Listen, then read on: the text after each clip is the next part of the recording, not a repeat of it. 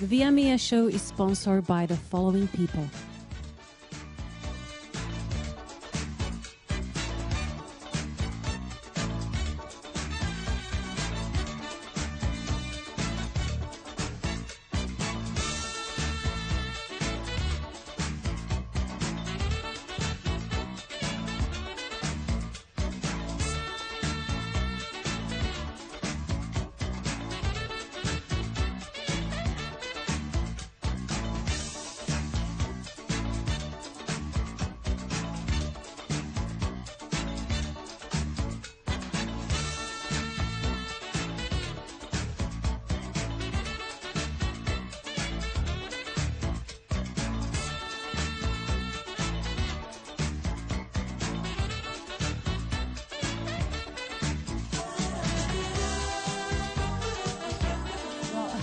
this is Mia again. Uh, when I promised last week I'm going to be back, uh, I'm back. I'd like to introduce and welcome you to watch um, again with me Via Mia show, which is coming to you every week now. Uh, this show gave me a privilege and pleasure to meet a lot of interesting people, different and unique. And um, there's not going, be, not going to be any exception today. I'd like to welcome and introduce a tribute artist, Rick Valiant. Hi, Mia. How are you? I'm very good, Rick. Thank you very much again for coming to, to uh, spend a half an hour with me and with all of us. Uh, I introduced you as a tribute artist, but we know that your main reason, um, at least half of the reason why you're here is a very interesting story, your life story behind your music career. But before we go there, um, I'm going to ask you a few questions. First of all, you brought some books here, and I want to know if you're uh, if you're focused as a tribute artist to Frank Sinatra only. Uh, no, well, these are all the song books that I've been working with Sinatra. Um, I've got quite a few songs in there and off, off those sheets in my head now, but uh, not just a tribute artist to Sinatra. Okay, so there are music sheets there, or is the, his bio, yeah, these, his these are, life? this is his Bible. These are all his songs. Okay. Um, well, seems to me that uh, you dedicated your music career to a specific artist, so you're concentrating mainly on his uh, mu- music. Well, the style of music, the big band era, uh, you know, having that big band behind you, uh, that's the kind of music I like. Okay, so uh, it's um, is any other artists inspired? Well, I, I, I use other artists as well. I'm not just sticking to Sinatra. I've got uh, a few other originals that I'm going to as well. And um, yeah, Yeah, so- so uh, in terms of cover tunes, okay, I know that you like to sing Frank Sinatra stuff, and it's great to see um, the people are bringing the songs from that era, 50s, 60s back. Uh, um, so it's really refreshing. Um, what other artists we can find the songs you recorded from? Well, I've even recorded Willie Nelson, uh, Bobby Darin. Uh, I've got some original stuff as well that I've uh, that I'm working on. Okay, let's stay with the cover tunes. Uh, where can we find them? Uh, you can go to my website, my website, uh, rickvaliant.com. I'm on YouTube, uh, quite a variety of, uh, of places where you can find me. Oh, that's great. I know that the YouTube, yes, uh, when we type uh, Rick Valiant's name to uh, YouTube, uh, it's gonna, you're gonna have quite a few varieties of, uh, not artist songs, but uh, we come to the original songs as well. So when you chose to uh, sing Frank Sinatra stuff, uh, why, why Frank Sinatra? Did you find some resembl- resemblance? Well, no, it's just because every one of Frank's songs, there's a story behind it, and um, when you listen to him sing, you can hear every word. You can hear every word. He's telling a story to that big band music, and it was just easy to, for me at the time, it was easy for me to learn his songs. Okay, so I know we understand that to have a band behind you is much more pleasant to, to perform than you have just Oh, yeah. the track, right? Yeah. Okay, we, you said that you have some originals, and I think you said that you brought something with Yeah, you. Yeah, we can play one today. I've got an original uh, song that was, um, I, I purchased some songs from a, uh, a writer in England, uh, Mr. Laurie Thompson, and we're going to play one of his songs today as well. That's, that's great. So let's listen to it, and I think you said the name is Arizona? Arizona. Here it is. I've known girls in Arizona and sunny Barcelona. I've romanced a Latin lady in Peru. But I never knew what love was about. I never knew what love was about till the day I fell in love with you. I admit to sharing kisses with some Oriental misses, with some chic Parisians, a hug or two. But I never knew what love was about. I never knew what love was about till the day I fell in love with you. Cause you have got a cool fascination that gives poets their inspiration, but no poetry can quite express. All the things that I feel about you, I just know I can't do without you. You're my lucky star, my happiness. I really love it. It's uh, so catchy. Um, it almost feels like I've heard it before, but that's what usually happens when you have good song, uh, catchy tune that feels like you've heard it before. So It's this was good- original one. It's original tune. It's a and it's a great catchy tune for sure, and, and it is on my website, so you can This have one a is on your it. Yeah. website, and its name is Arizona. Arizona. Rick, uh, if in terms of your music career, we can find you. Uh, you said on on your website, rickvaliant.com, your Facebook. Um, we can hear your your songs on YouTube. But there is something behind all this. This um, happened to you over five years ago. Without it, you would not be sitting here with us. I don't know. I hope you're going to feel comfortable. You said I can ask you any questions, and you know you can ask me pretty much anything. Yeah. Yeah. And you know my natural inquisitiveness has no limit, so uh, I hope you are prepared. Um, so you tell me, uh, tell us, what happened five years ago? Well, um, unfortunately, Mia, for 40 years of my life, I spent it as a alcoholic. And uh, the last 10 years, um, five years ago, I quit drinking. And uh, my new focus was I needed something other than my drinking habits all the time. Uh, I went into treatment programs. Um, and after that first year, um, I decided I wanted to do something else, and I, and I took up singing. So for the past four years, I've been singing. And I've had the opportunity to sing all around, all around Canada, into the States. Um, so that was my new focus, my new addiction, because uh, being addicted to alcohol for so long, it was, um, it destroyed my life. Yeah, yeah. Well, I'm very glad to have you here. I'm glad that you uh, you woke up and you, you made that huge change. And you will. I know you said you're going to tell us a little more what actually happened. But uh, you you did something different than we normally hear people do. Um, uh, you changed that routine of having fame first, and then that becomes unbearable and the drugs and alcohol comes, that addiction takes over. You went against that routine. What happened to you? Well, I don't know if- about the fame, but uh, it's uh, it's certainly.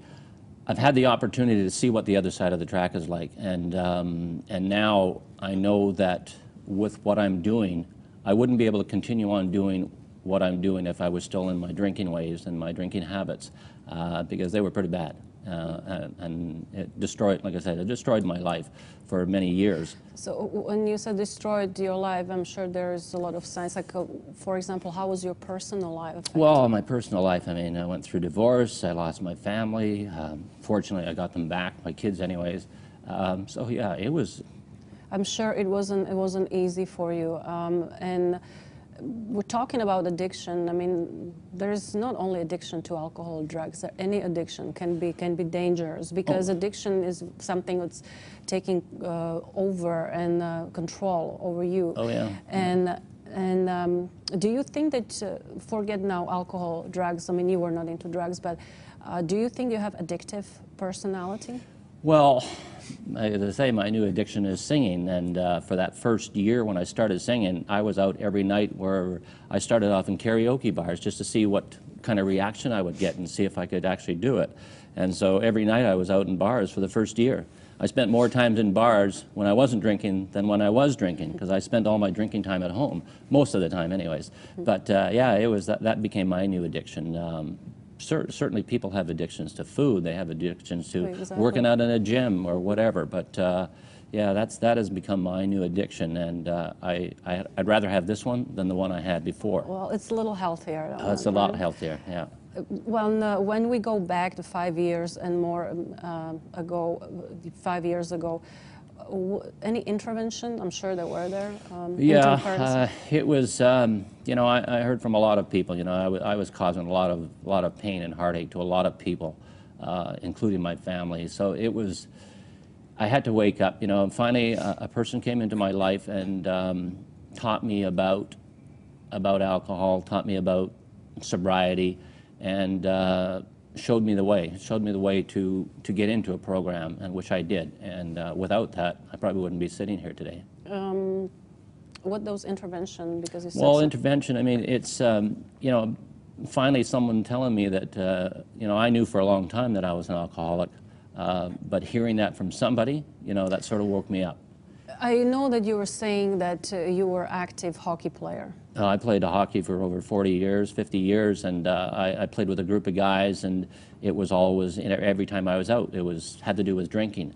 I finally was able to join a group that, that weren't so much involved in drinking, and um, uh, I went away with them on a couple of trips. And the last trip, which was my last weekend of drinking, I found out later that I wasn't going to be invited back again, and um, that was sort of didn't feel very good.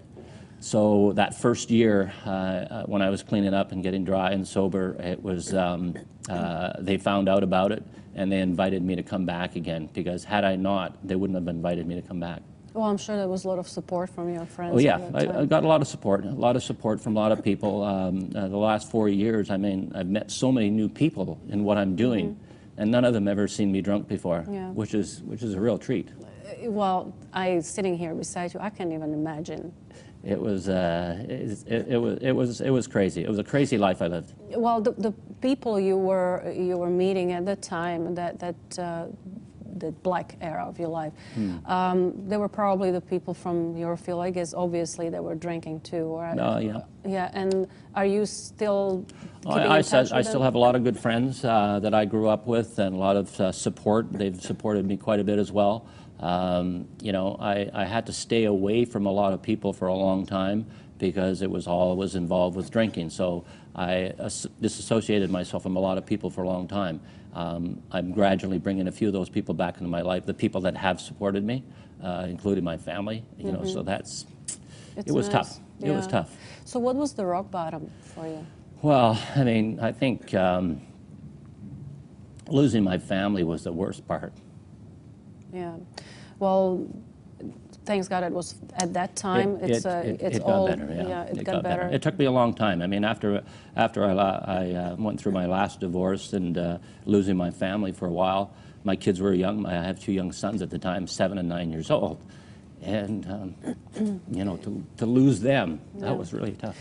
Yeah, I'm sure it had to be. Uh, as I'm saying, I'm so happy to see you here. I'm very glad that you came to the point that it wasn't too late to change your life.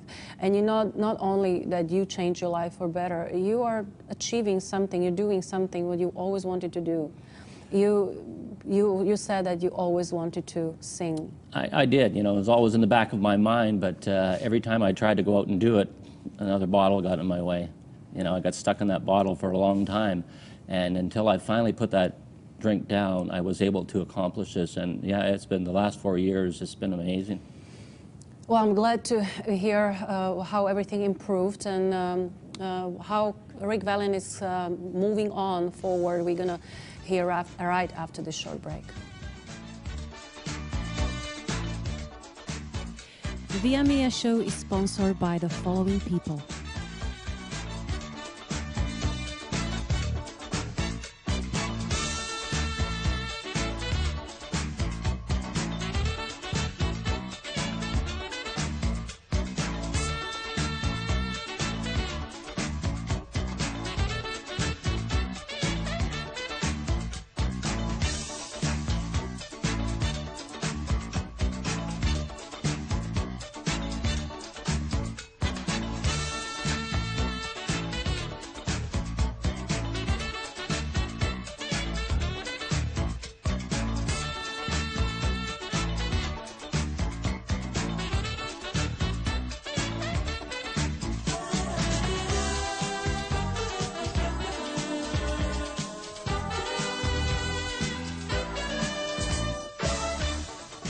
Well, we're back with Via Mia. Uh, My name is Mia, and my guest today is tribute artist uh, Rick Valiant. Uh, he ex- accept that uh, his music career, which is uh, rapidly moving forward, he is uh, known by that.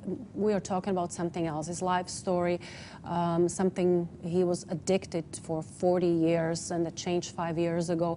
So, Rick, we're talking about that alcohol who was, which, which was uh, controlling your life.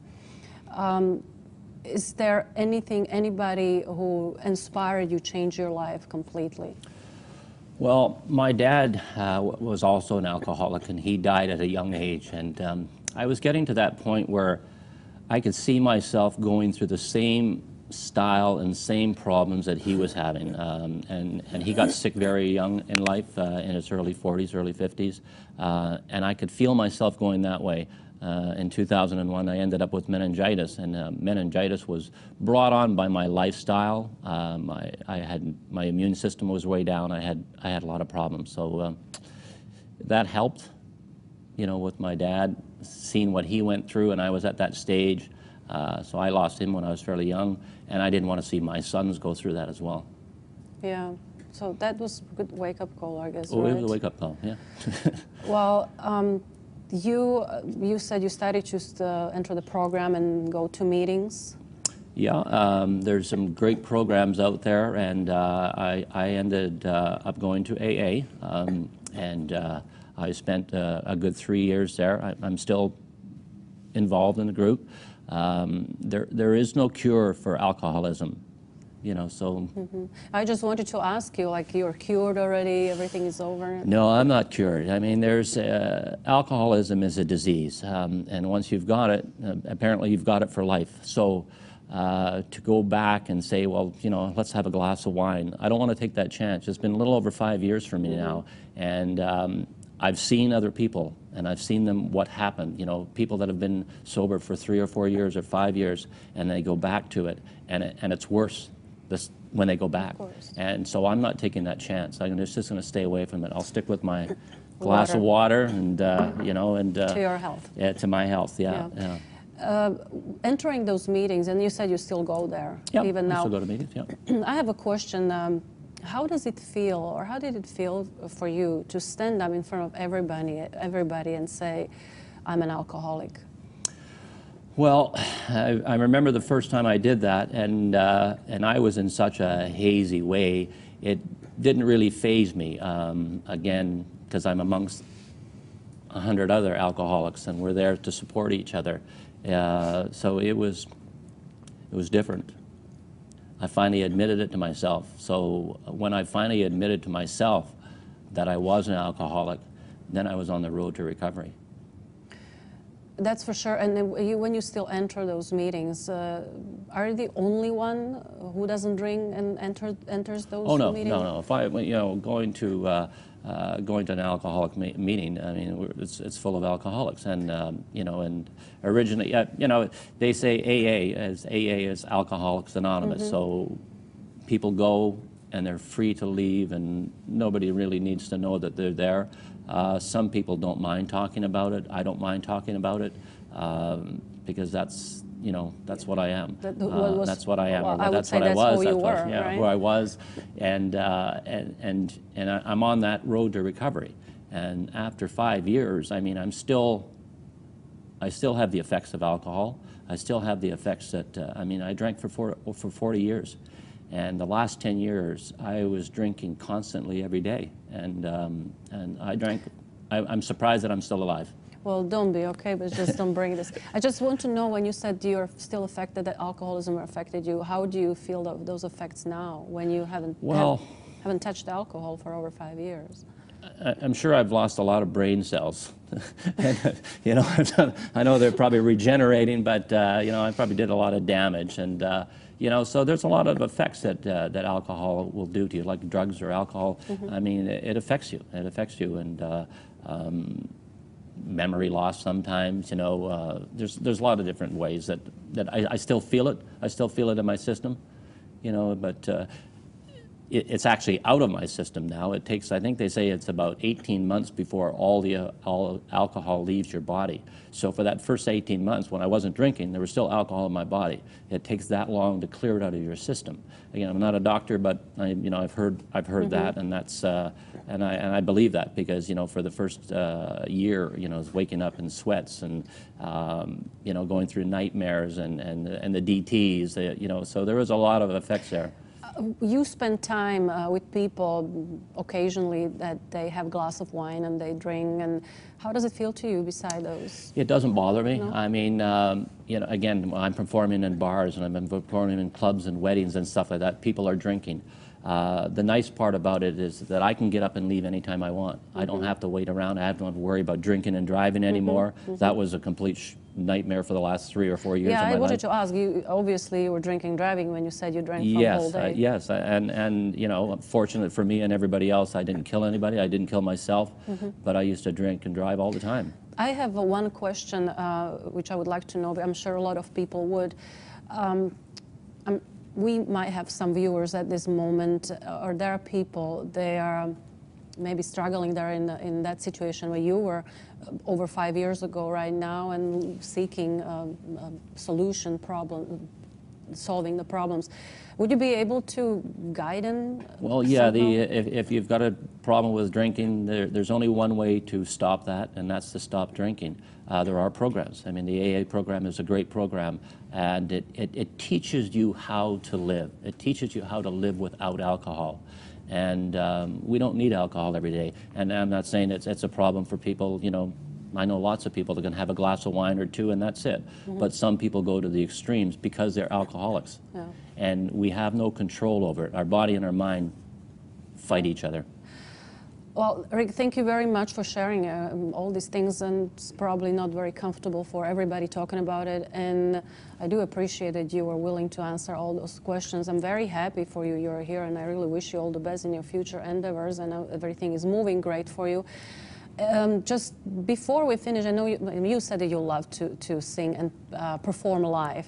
Would Yes, you I like do. to Would you like to maybe demonstrate I'd before love- we finish? Yeah, I'd love to sing a song, but I'd like to sing a song with you. And I brought a song along because you told me that you know so many songs.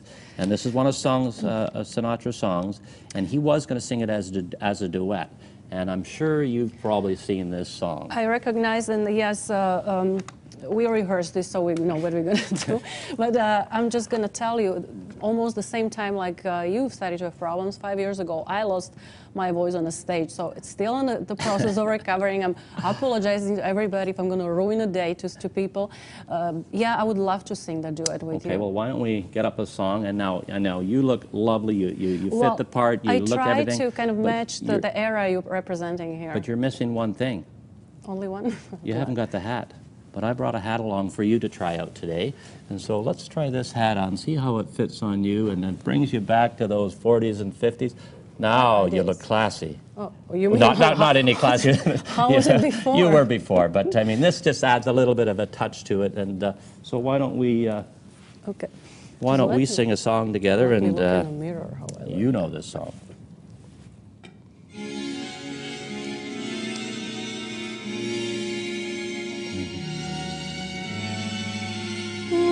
Somebody loves you, there is no way that if he loves you, all the way. Happy to be near you when you need someone to cheer you. All the way. Than the tallest tree is. That's how it's got to feel. Deeper than the deep blue sea is. That's how deep it goes if it's real. needs you, that it's no good unless he needs you. All the way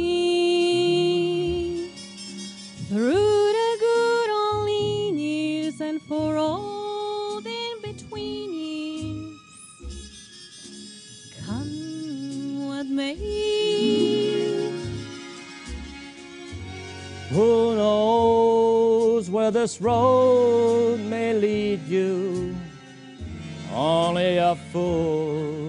Could say. But if you let me love you let me it's for sure you, I'm gonna sure love I'm gonna you love you all the way. All the way. Now this is where you dance. Now you can dance, dance around, we'll get up on the table. All right, we won't dance on the table.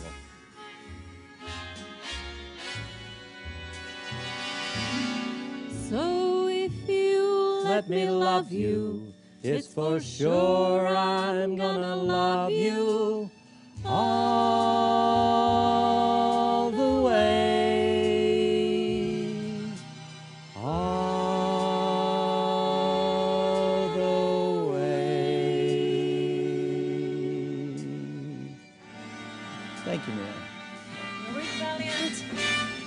And Mia.